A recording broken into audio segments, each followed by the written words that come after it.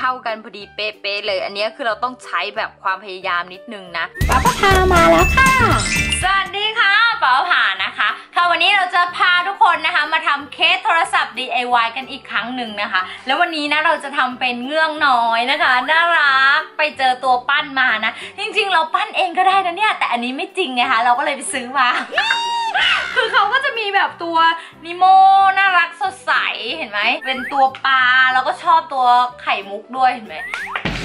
เข้ากันเข้ากันน่ะตัว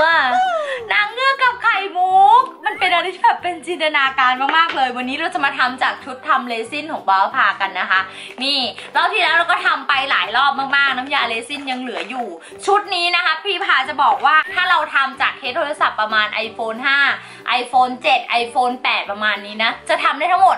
12 ชิ้นเลย เราจะผสมทีละ 5 ml 5 ml เนาะรวมกันเป็น 10 ใช่ไหม ก็จะได้ทั้งหมด 12 ชิ้น เพราะฉะนั้นคุ้มมากๆ ใน 1 ชุด 350 บาททำได้ 12 ชิ้น ต่อน้ำยา1อันนะคะ ใครสนใจก็สามารถหาซื้อได้ที่ Line แอดปาวพานนะคะ หรือว่าจะเป็นแฟนเพจ Facebook ปาวพาไทยแลนด์ขายเก่งแก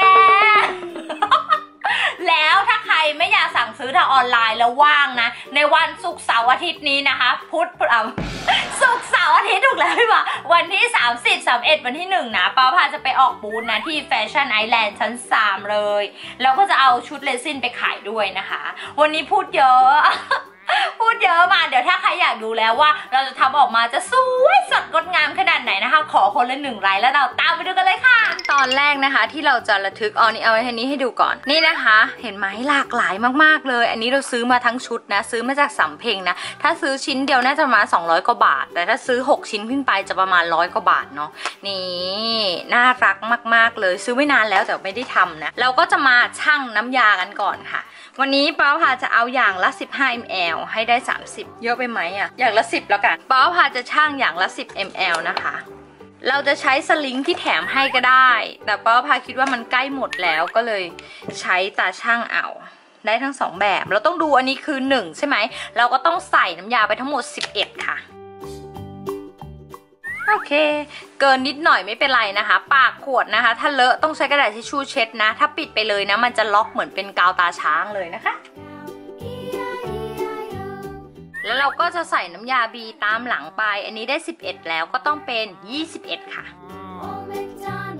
พอเราได้น้ำยาแล้วเราก็ใช้ไม้ตีนที่แถมให้นะคะ คนจนกว่าน้ำยาจะกลับมาใส่อีกรอบค่ะ พอคนไปทีแรกเขาจะขุ่นแบบนี้ คนต่อไปก็จะค่อยๆใส่ขึ้นมานะคะ พอเราคนน้ำยานะคะ จนเข้ากันแล้วนะ เราก็จะมาแบ่งน้ำยาเป็น 3 ถ้วยนะ เพื่อจะแยกสีค่ะว่าพาจะใช้สีน้ำเงินเข้ม สีฟ้าอ่อนนะคะ แล้วก็เป็นสีขาวค่ะ แยกเป็น 3 ถ้วยเนาะ แล้วเราก็ผสมสีตามเลเวลเลยนะคะป้าพาจะใช้สีผสมเลซิป้าพาเองนะ อันนี้นะคนละ 50 บาทเนาะค่อยๆ ใช้ไม้จิ้มฟันนะคะ แต้มไปค่ะ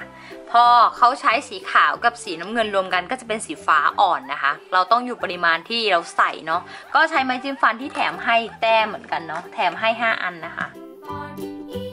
นี่ค่ะใส่นิดเดียวเท่านั้นนะคะ ไม่ต้องใส่เยอะขยี้ขยี้เริ่มเป็นสีที่เราต้องการ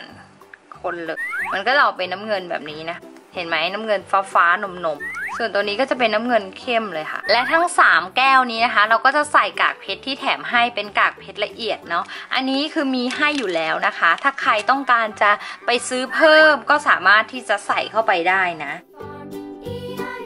ถ้าเป็นสีนมนมเนี่ยเขาจะไม่ค่อยเห็นเท่าไหร่ว่าเป็นกากเพชรนะคะ มันจะละลายหายไปเห็นปะแต่พอเราไปเทแล้วมันก็จะเห็นเป็นวิงวิงนิดหน่อยค่ะ ไม่เยอะมาก แต่ถ้าเป็นสีใสเนี่ยจะเห็นอยู่ค่ะว่าเป็นกากเพชรเนื้อกากเพชรเลย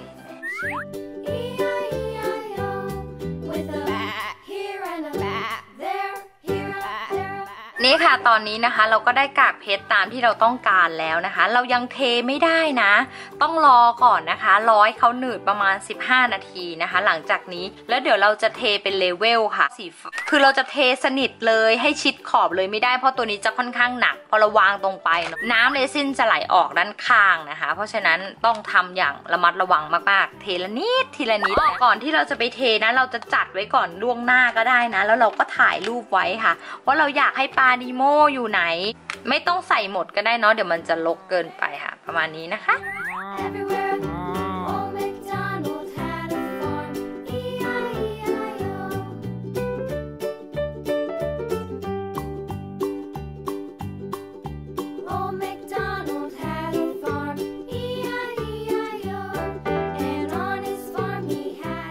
นี่ค่ะพอเราเทเรซินครบแบบนี้เรียบร้อยแล้วนะคะ เราก็จะทิ้งเขาไว้เฉยๆเลยในอุณหภูมิห้องนะคะ 4 ชั่วโมงค่ะ แล้วเดี๋ยวเรากลับมาเจอกัน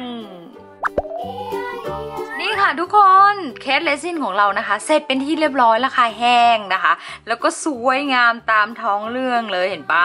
คือเท่ากันพอดีเป๊ะๆเลย อันนี้คือเราต้องใช้แบบความพยายามนิดนึงนะ เพราะฉะนั้นที่สำคัญในการทำเคสเรซินนะคะ ก็คือเราต้องรอให้เขาหนืดค่ะ ถ้าเขาไม่หนืดเนี่ยมันจะทำแล้วมันจะแบบไหลออกข้างๆ แล้วจะไม่สวยงามแบบนี้เนาะเรือน้ำยาเรซินก็เลยลองใส่บล็อกน้องๆ บอกว่าเรซินของเราอะ่ะไม่ยอมใส่ก็อาจจะเป็นเพราะบล็อกเขาเป็นคุขะหรือเปล่าเดี๋ยวเราลองมาดูว่าบล็อกเรียบๆเป็นยังไง เออจริงด้วย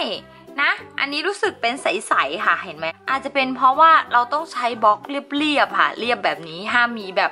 ขุขะอะไรอย่างเงี้ยนะเข้าเซตกันค่ะ เข้าเซตกันเราอาจจะเอาไปเจาะทำเป็นพวงกุญแจนะแล้วก็ห้อยนะให้เข้ากันแบบนี้เนาะเนี่ยเป็นเคส iPhone 7 นะคะทำให้แม่ค่ะ อันนี้เป็น iPhone Max เนาะไม่รู้ใส่ด้วยกันได้เปล่า ใส่เข้าไปก่อนนี่เห็นไหมตรงนี้เขาจะไม่ตรงกัน โอ้ใส่ออกมาแล้วสวยมากทุกคนดู ใส่ออกมาแล้วสวยจริง ๆ ค่ะ เห็นปะเวอร์วังอลังการสุดๆเจ๊พ้าชอบมากเลยนะคะ